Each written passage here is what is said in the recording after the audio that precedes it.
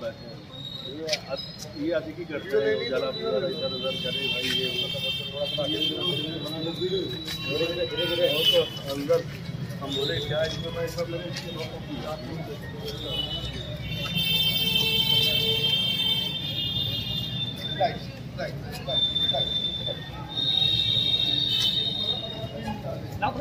यही खड़े करो फिर धीरे धीरे आगे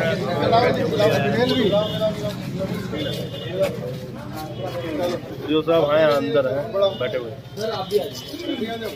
अच्छा।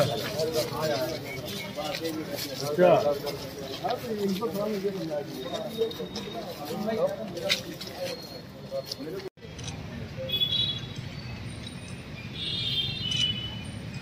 हो गए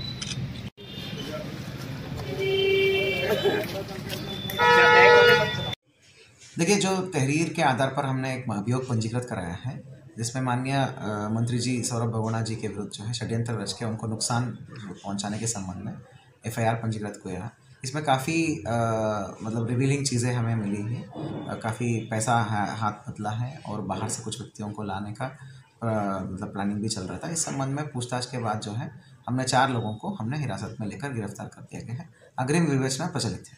तो इसमें क्या पर्पज़ क्या था इसमें?